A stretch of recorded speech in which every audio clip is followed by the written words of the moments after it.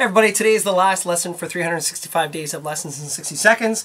Um, we're just going to talk about technique today, technique books, and mainly DVDs today, actually. But obviously, Syncopation by Ted Reed. I've used this book for basically my entire life um, and throughout this whole video series. Another good one, Mine's Falling Apart. Stick Control by George Lawrence Stone.